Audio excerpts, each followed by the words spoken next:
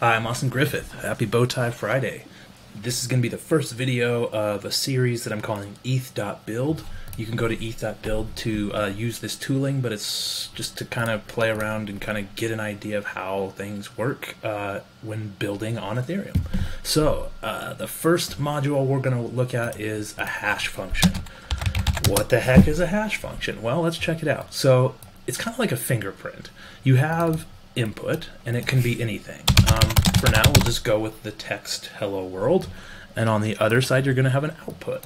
And that output is a 64 character? Yeah, it says 66, but that's because it is 0x. It's a 64 character hexadecimal string. And uh, if, if you're looking at hex, it kind of looks like a color, and it might even be easier to um, kind of describe what we're seeing here if we just make this a color. So let me throw together uh, just a color depiction of what this is to help illustrate what the heck is going on. So what we're going to do is just grab these first six characters of whatever the string is and display it as a color. And if we look at that, we'll see that it's that 4-7 just like we wanted. And there we go. It's that nice purple color. So uh, what, let's see what color my name is. There we go. A nice, nice forest green. Cool. So uh, now let's go back to Hello World. It's that purple again. Okay, so what we just discovered here is it's it's deterministic. Basically, whatever we put in as our input, we're always going to get the same thing out on the other side. Okay. The second property here is you can put in anything of any arbitrary size. So I can just mash on a keyboard.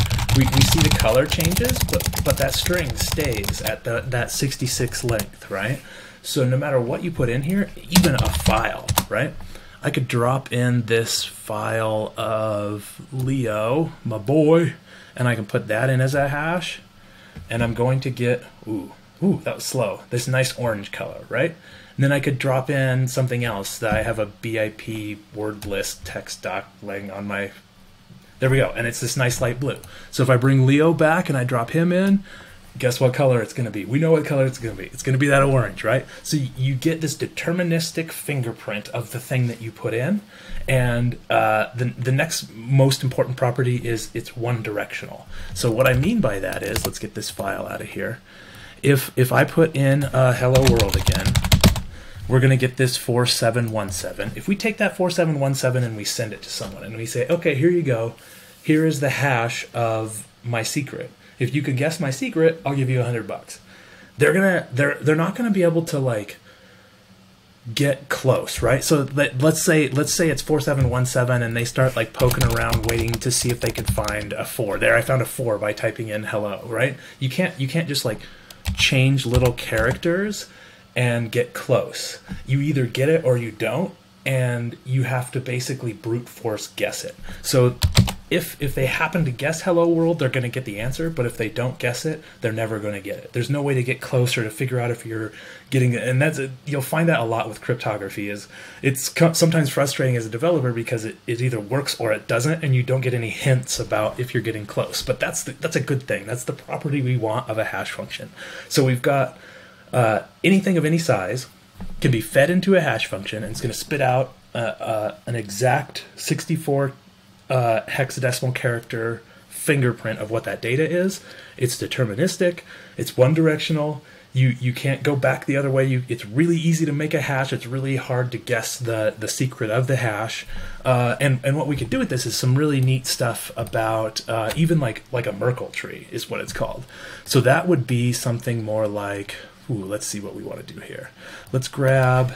Well, I guess let's grab all of it and just copy and paste it a few times. Oh man, this is gonna make a mess. Here we go, here we go, here we go. Okay, so, uh, wow.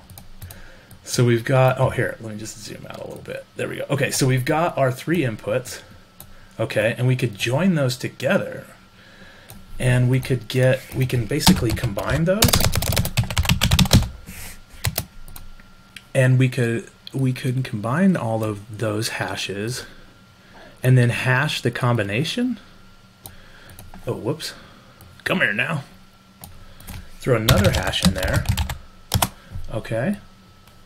Ooh, actually, I kind of want the color. The color's cool. Get out of here. Over here. Okay, so this color right here, that purple, represents the hash of all of these hashes. So if I change hello world to hello world 1, that purple is going to change.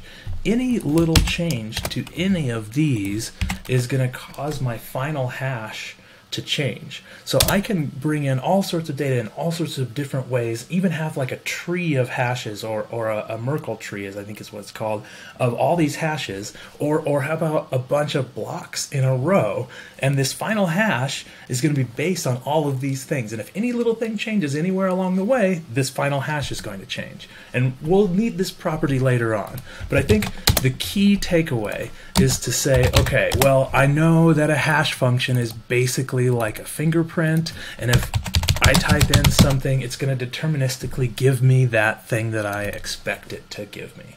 Okay, awesome. Thank you. That is a hash function. Welcome to ETH.build. Uh, let's make some cool stuff and, and learn a lot along the way.